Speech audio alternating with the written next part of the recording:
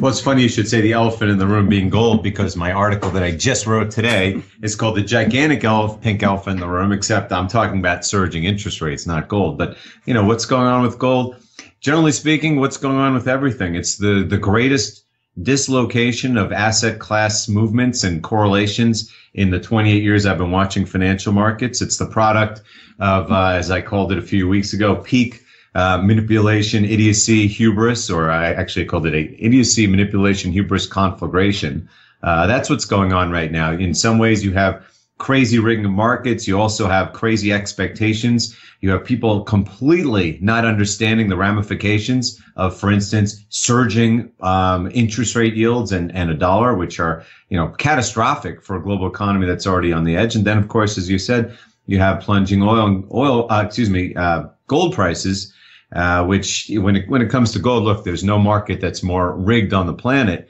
But uh, you know, you obviously it's not just that. It's not. I mean, there are definitely people that have beliefs out there.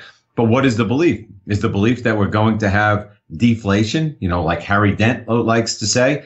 Well, surging interest rates uh, around the world would tell you otherwise. Surging base metal prices. I mean, we're having a parabolic explosion in copper and zinc and lead because of the explosive inflationary expectations of Trump's uh, fiscal policies, uh, let alone his protectionist uh, trade policies. So it's certainly not due to deflation, uh, even though, of course, gold has been the best performer during deflationary periods ever, uh, going from 2008 to the Great Depression to every market decline we've had in the in the past, who knows, five, ten years.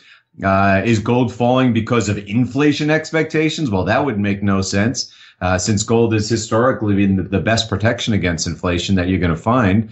Uh, you know, and then some people say, well, it's because uh, it's fear mongers because India is going to ban gold. Well, no, actually, India said we're absolutely not going to ban gold. They're just talking about cash.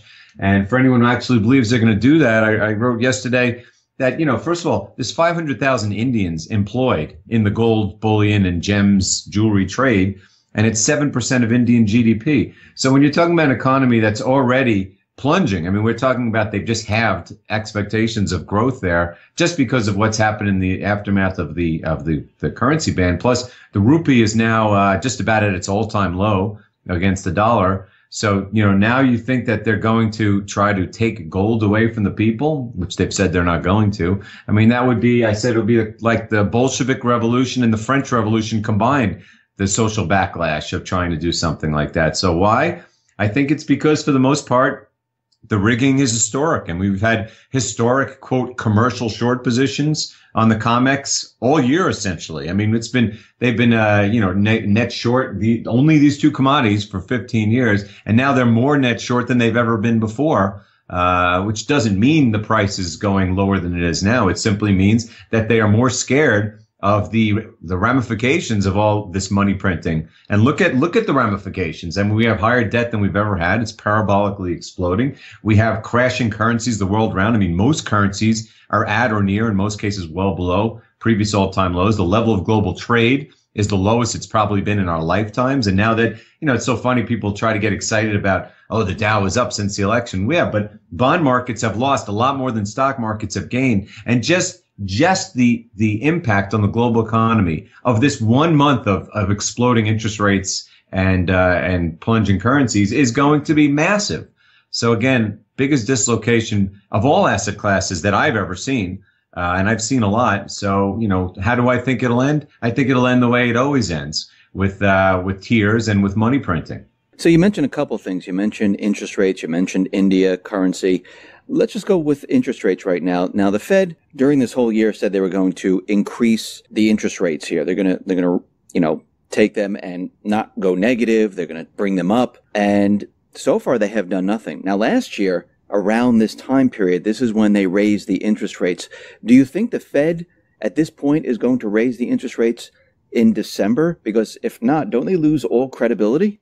well, it's funny you should say that because my audio blog Monday was called Preserving Credibility When None Exists, referring to uh, the FOMC minutes from their last meeting when it said several governors say we need to raise rates in, in December to preserve credibility. And again, you know, will they raise rates?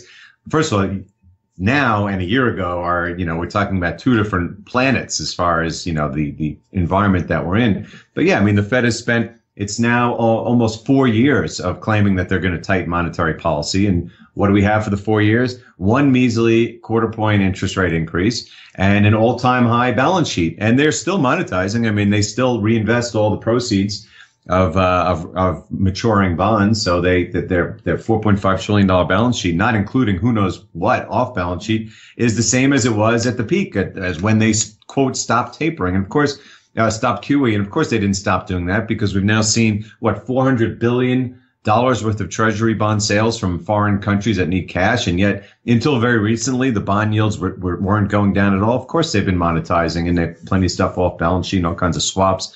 So look, the Fed has been talking about doing this forever. This year they said they were going to raise rates four times. I mean, they did it last year one time again, only to quote preserve credibility because they had said all year they're going to raise rates, and then when they did it, they almost blew up the world.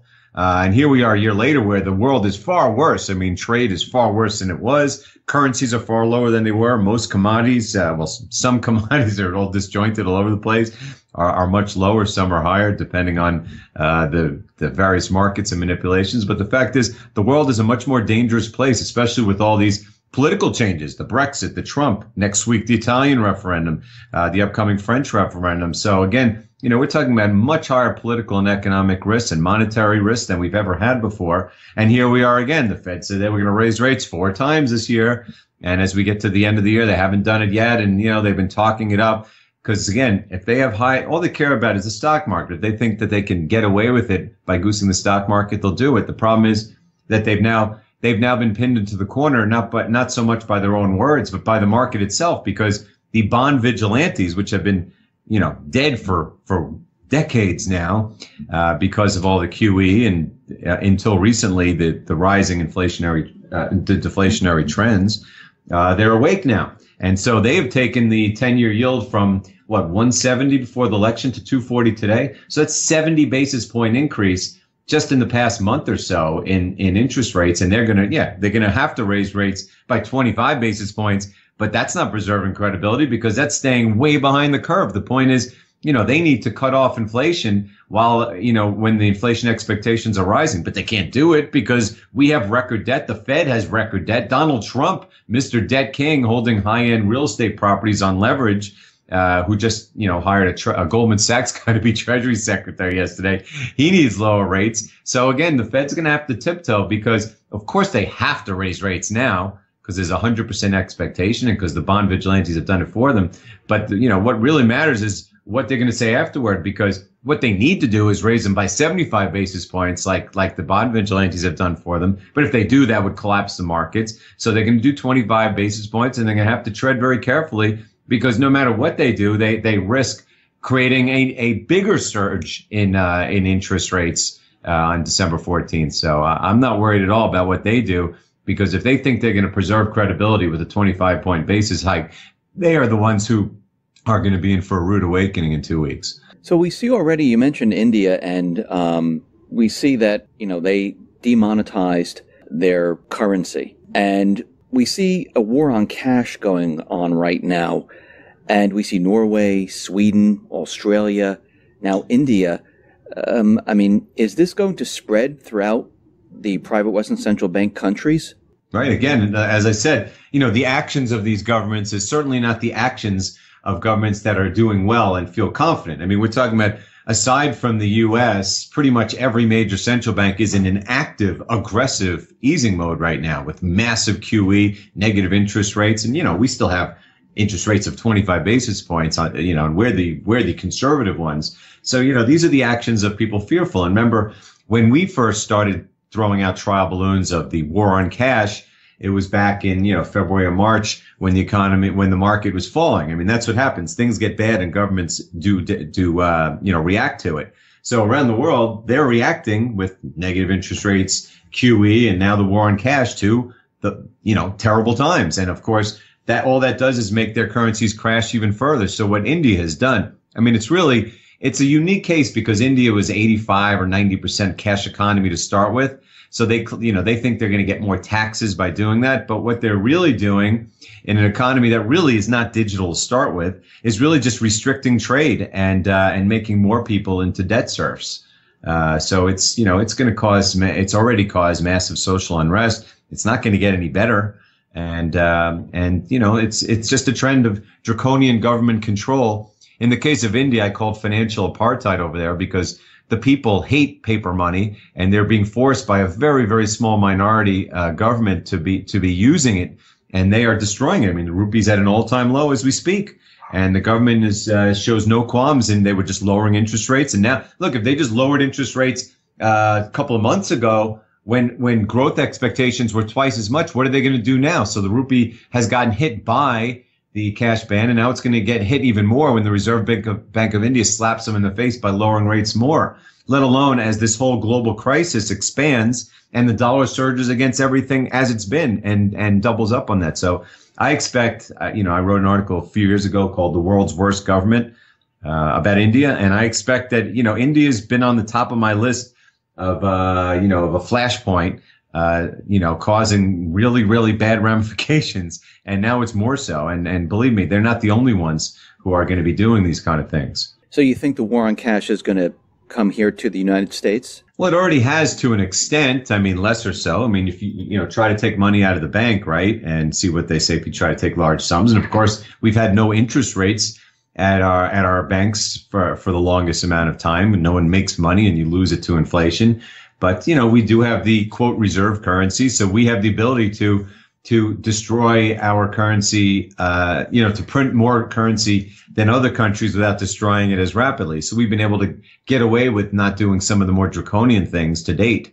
Uh, but you know, in time, you know, the cancer spreads from the limbs up to the to the head, which is what the, the U.S. dollar is. And you know, of course, you know, I mean, when people like Larry Summers or you know are out there constantly talking about uh, these things. They're, they're, trial balloons. And now that it looks like, uh, not that it matters, but Trump is surrounding himself with the same kind of, you know, people that everyone else had around him, are, are like Barack Obama. So, you know, as soon as there's the first crisis, you know, you can bet the war on cash and, and, uh, and, and draconian Federal Reserve actions and, you know, all these crazy government actions related to capital controls and fiscal stimulus and are only going to increase.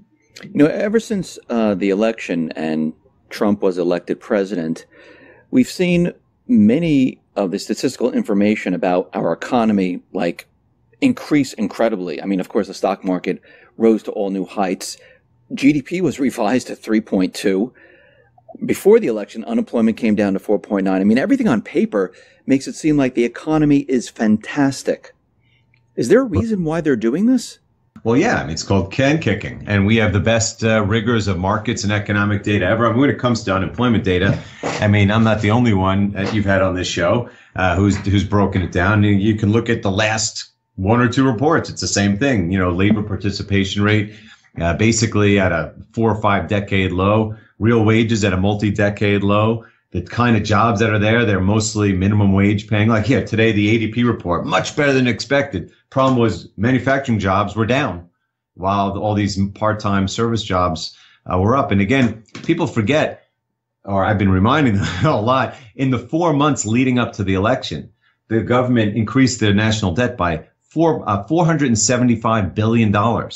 Uh, obviously, they were trying to get Hillary in office and, and, to preserve Obama's legacy. And so, you know, it creates jobs, not good jobs, uh, but it, you can goose data that way, and then you know. But you you still look at most of the other real data: durable goods, factory orders, retail sales. They've all been horrible. Look at the beginning of the Black Friday, right? We're being told how great things are. The beginning of the Black Friday weekend was abysmal. I mean, beyond abysmal, way below last year's numbers. And as for the third quarter GDP number, I'm still scratching on my head how how even their statistical numbers could show up three percent because throughout the entire quarter even with all this debt, all the real numbers were down. I mean, inventories didn't even go up during the quarter. Retail sales, all these factory good orders and stuff, they were all negative. Uh, so how did they come up with 3% GDP growth? Again, it's a statistical fabrication.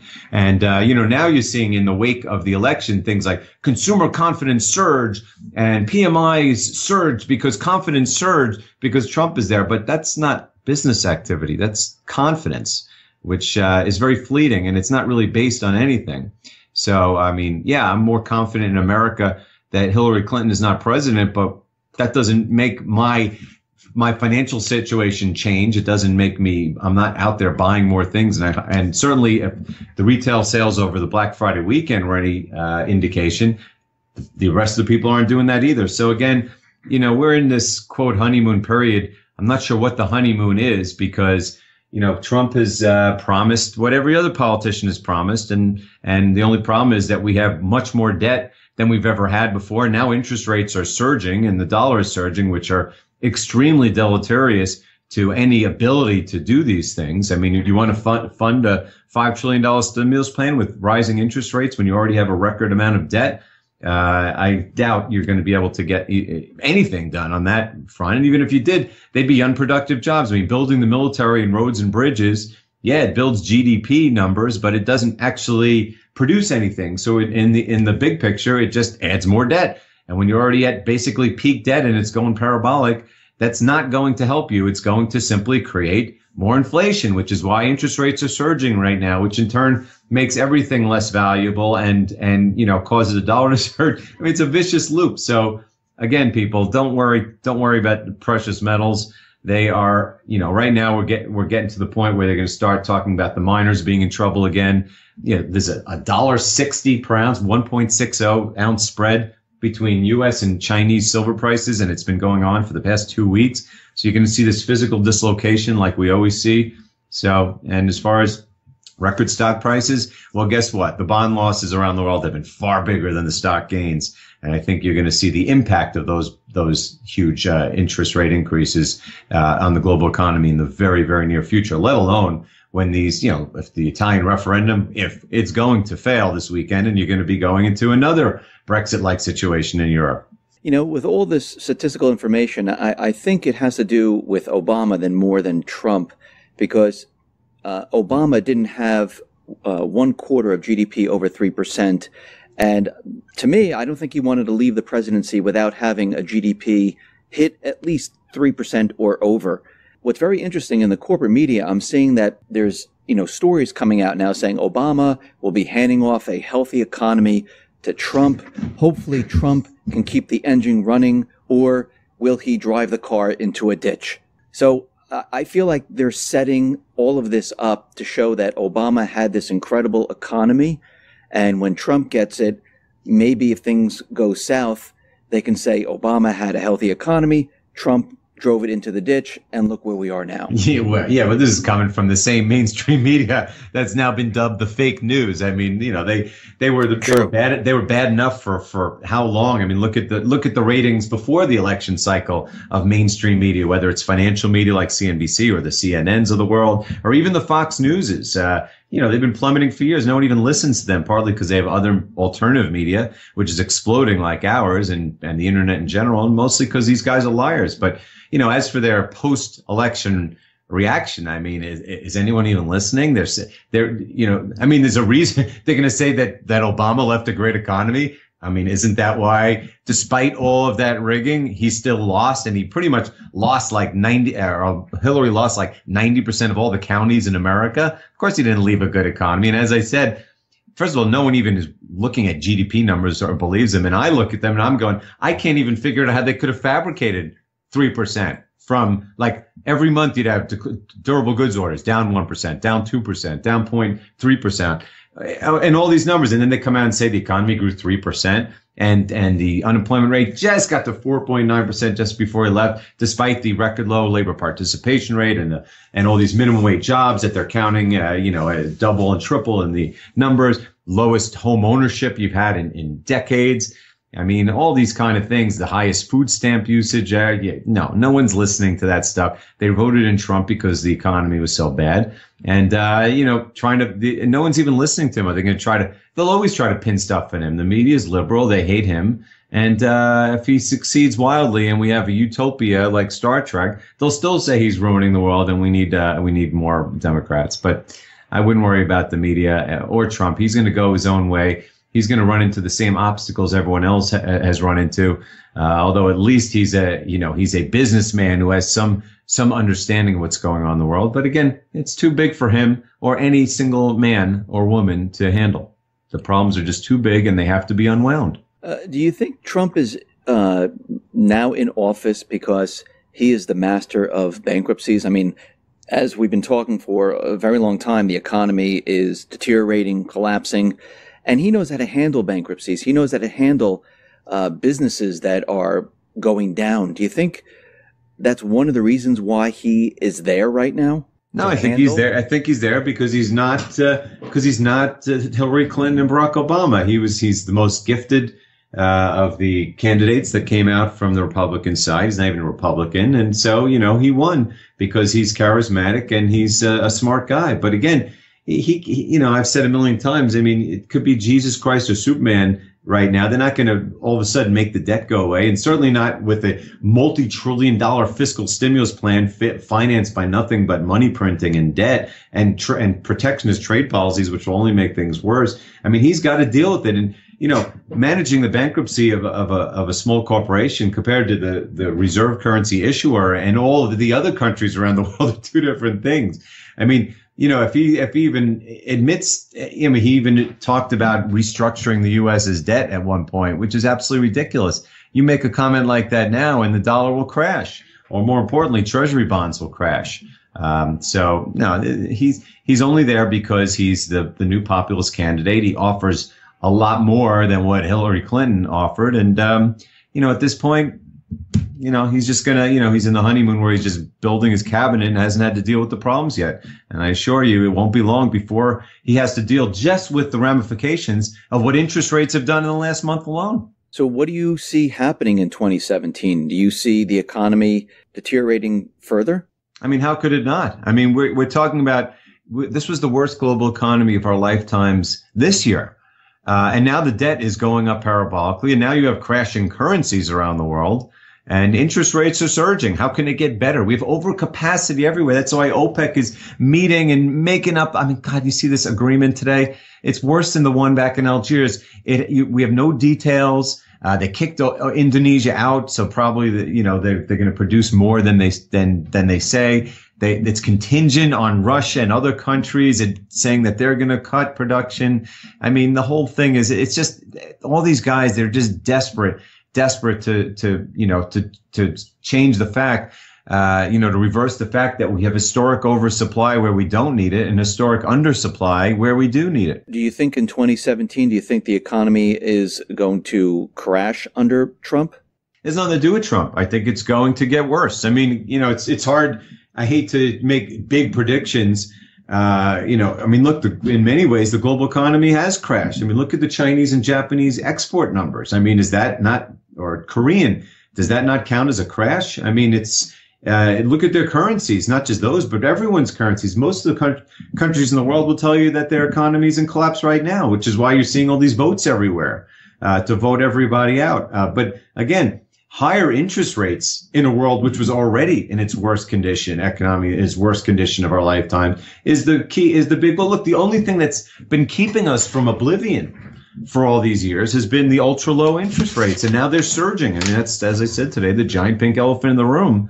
No one wants to look at the fact that that when you have record high debt, record high interest, or surging interest rates is the worst imaginable uh, outcome. So you have that, and then you know no one wants to look at that. One talks about the the surging dollar, but you know the, the dollar surging is a, is the worst imaginable thing for U.S. corporate earnings, and it's certainly not going to help the rest of the world because they need to pay back all their debts in U.S. dollars.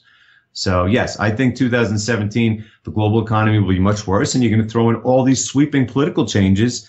Uh, going to be populist movements. There's going to be more money printing. There's going to be uh, trade wars and all kinds of things. So I expect 2017 to be uh, a time where finally the powers that be have trouble controlling what they've been so masterfully keeping their hands on for so long. Jim Rickards has been talking about a uh, new currency, the SDR, replacing the dollar on the global stage. Do you, do you see a new currency being ushered in? Uh, well, I mean that's his thing. He's trying to he's trying to get readers. I mean, he's a smart guy, but this SDR thing is so ridiculous. Uh, I mean, I've said for years, you're going to take all, these crashing currencies that no one wants any part of, let alone the euro, which may not even be around, and say, well, if we just put them together onto a new balance sheet, everyone will accept them, and and we can uh, borrow as much money as we want in it and hand it out. I mean, it's just so ridiculous to believe that we could get th- that far with that SDR, where the IMF, which is already discredited in, in every way, is somehow going to uh, be a major be a major factor in the world. I don't believe it for a second. I think if, if you get to that point, at least Rickards and I believe that gold will surge, but I don't. It's not even worth talking about. I think the whole idea is so silly. Do you think the U.S. dollar is going to continue to be the reserve currency, or do you think there's another country out there that will take control of the currency around the world? I think the U.S. dollar ha- has to stay the reserve currency because the system is is crashing right now, and uh, and uh, the you know the only way that we're going to start over is with a new system, not with a new currency. Ultimately, China is going to be the leader because they have the most manufacturing capacity and the most gold, but they themselves have a crash to go through because they have an historic economic bubble. And uh, and you know b- before that plays out, uh, you know, before we get to the point where any new currency can be established, which I assure you will not be one based on fiat, uh, you know, we have to go through a painful crash. So I wouldn't even worry about the future. Frankly, I think cryptocurrency will be the future because no one ever is going to trust a government to issue anything. This reset that you just talked about, going through the pain, like what kind of pain are you talking about? Well, you know, the average person's been feeling a lot, which is why they've been voting in people like Trump and voting for the Brexit and and that kind of stuff. And we have I, I just read that 70% of Americans have uh, less than $1,000 of savings, and I'm sure it's not much better around the world. So I think in a world where jobs, real jobs, have been scarce and savings scarcer, uh, at a time when you're going to see uh, resetting interest rates higher and uh, and weaker currencies the world around, I think people are going to you know feel the, the pain of a real recession, not you know not one that can be for the millionth time put off by money printing and you know, I don't want to know what that. Maybe it feels like 2008. Uh, maybe it feels uh, like something worse or something better. But you know, the net result is going to be the repudiation of trillions of dollars of debt. I mean, that's how it has to end. And uh, if it's going to be done by money printing, which is how it usually is, it's going to be inflation uh, that does it. If not, it's going to be due to uh, you know a, a deflation. But I would I would bet it's a little of both. And, um, you know, and I think that what you're seeing in places like Venezuela right now is, uh, is not a, not a preview necessarily for the entire world, but it's the direction that we're heading. Because, I mean, look, interest rates are surging right now. How do you think all the debt that's, that's resetting to higher interest rates is going to get paid back and reissued? It's going to be at higher rates that needs to be monetized. So I think people need to prepare for a worst case scenario because I truly believe and have for some time that that's the the only way. I mean, they put off what should have happened years ago uh, with the printing press, and right now we're getting to the point of no return. You're seeing it politically, and eventually you're going to see it in the in the financial markets. Uh, you know, because at some point you can't control everything. When we go through all this, do you think the central bank will exist after all of this is said and done? I do not. I, I, it's the system that's the problem. It's the system. You know, we talk about preserving credibility when none exists. I mean, who's even who's listening to the media anymore? Who's listening to the central bankers? Like, aside from the you know the PPT that's out there trying to manage expectations and a couple of hangers-on traders, do you think anyone's listening to the Fed anymore, telling us how great the economy is, or or let alone these other ones? How about the ECB, where the entire Europe is falling apart? Because and that's after you know four years after Draghi said he'd do whatever it takes to save Europe. So again, no, I believe the system is the problem. It's the money, it's the bad fiat money, and that's all. It's the root of pretty much all the problems. That and probably overpopulation of the world today. So I think that you know, I'm not talking about that's going to happen in 2017, but it's certainly the trend of where we're going, and and you know, maybe it is 2017 where it all hits the fan. Andy, thank you for being on the X22 Report Spotlight. Once again, how can people see your work? Again, Miles Franklin Precious Metals. We are finishing our 27th year in business. Uh, we now actually have online purchasing capability uh, as well as the world's best storage programs in Canada. Uh, you can go to milesfranklin.com. You can call me at 800-822-8080 or email me at ahoffman at milesfranklin.com. All right. Thank you very much since the election. We have, but bond markets have lost a lot more than stock markets have gained. And just just the the impact on the global economy of this one month of, of exploding interest rates and uh, and plunging currencies is going to be massive. So again, biggest dislocation of all asset classes that I've ever seen, uh, and I've seen a lot. So you know, how do I think it'll end? I think it'll end the way it always ends with uh, with tears and with money printing. So you mentioned a couple things. You mentioned interest rates. You mentioned India currency. Let's just go with interest rates right now. Now, the Fed during this whole year said they were going to increase the interest rates here. They're gonna they're gonna you know take them and not go negative. They're gonna bring them up, and so far they have done nothing. Now, last year around this time period, this is when they raised the interest rates. Do you think the Fed at this point is going to raise the interest rates in December? Because if not, don't they lose all credibility? well, it's funny you should say that because my audio blog Monday was called Preserving Credibility When None Exists, referring to uh, the FOMC minutes from their last meeting when it said several governors say we need to raise rates in, in December to preserve credibility. And again, you know, will they raise rates? First of all, now and a year ago are, you know, we're talking about two different planets as far as, you know, the, the environment that we're in. But yeah, I mean, the Fed has spent, it's now almost four years of claiming that they're going to tighten monetary policy. And what do we have for the four years? One measly quarter point interest rate increase and an all time high balance sheet. And they're still monetizing. I mean, they still reinvest all the proceeds of, uh, of, of maturing bonds. So they that their their 4.5 trillion dollar balance sheet, not including who knows what off balance sheet, is the same as it was at the peak, at, as when they past month or so in in interest rates. And they're gonna yeah they're gonna have to raise rates by 25 basis points, but that's not preserving credibility because that's staying way behind the curve. The point is you know, they need to cut off inflation while, you know, when the inflation expectations are rising, but they can't do it because we have record debt. The Fed has record debt. Donald Trump, Mr. Debt King, holding high end real estate properties on leverage. Uh, who just you know hired a, tre- a Goldman Sachs guy to be Treasury Secretary yesterday? He needs lower rates. So again, the Fed's going to have to tiptoe because, of course, they have to raise rates now because there's a hundred percent expectation and because the bond vigilantes have done it for them.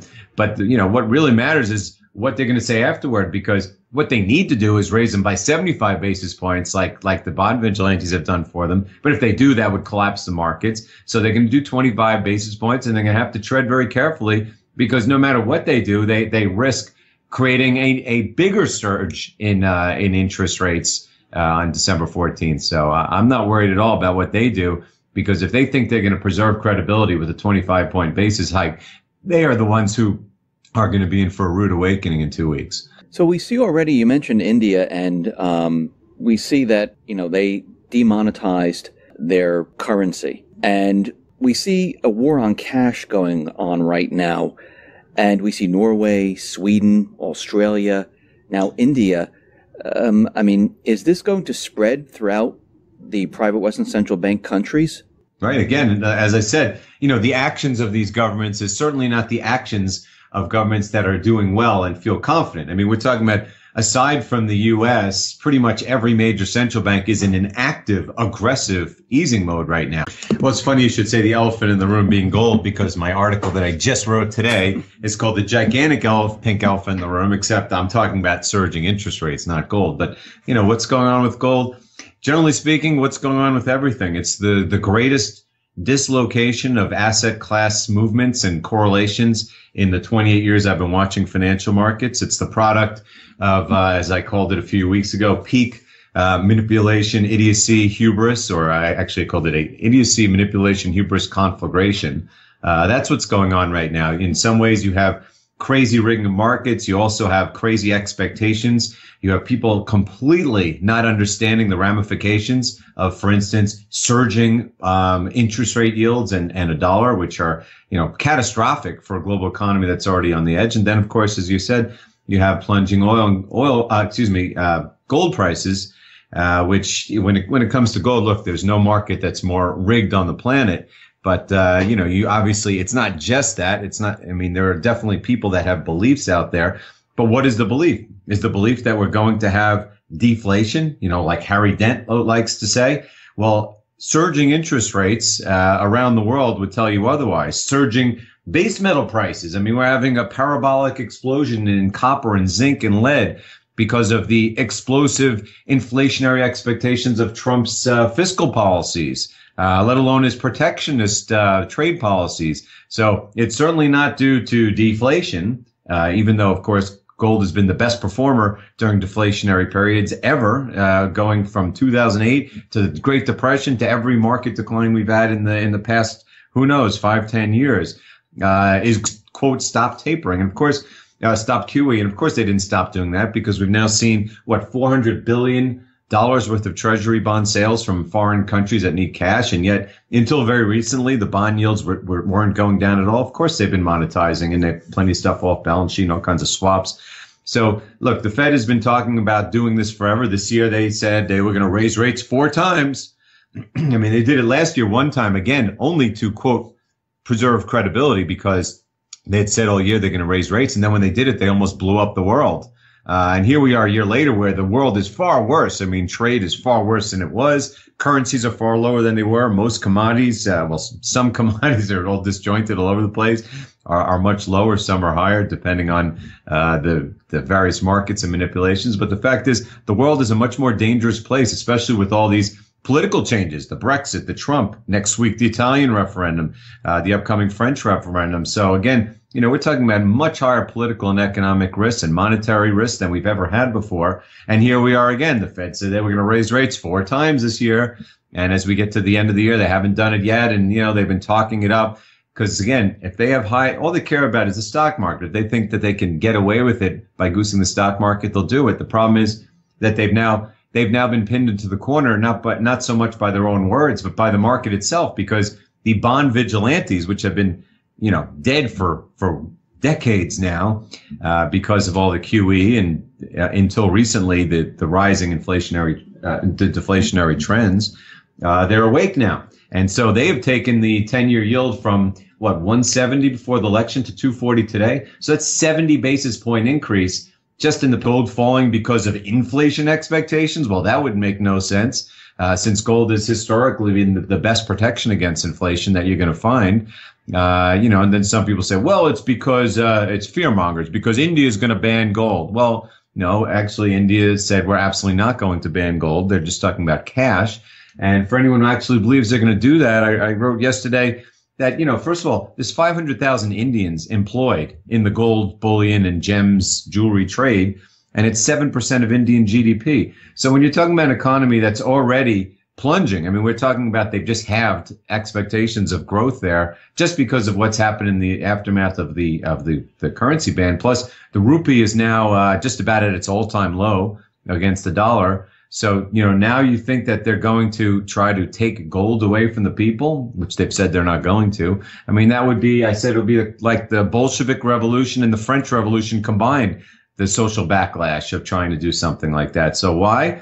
I think it's because for the most part, the rigging is historic and we've had historic quote commercial short positions on the comex all year essentially i mean it's been they've been uh, you know net, net short the only these two commodities for 15 years and now they're more net short than they've ever been before uh, which doesn't mean the price is going lower than it is now it simply means that they are more scared of the the ramifications of all this money printing. And look at look at the ramifications. I mean we have higher debt than we've ever had. It's parabolically exploding. We have crashing currencies the world around I mean most currencies are at or near in most cases well below previous all-time lows. The level of global trade is the lowest it's probably been in our lifetimes. And now that you know it's so funny people try to get excited about oh the Dow is up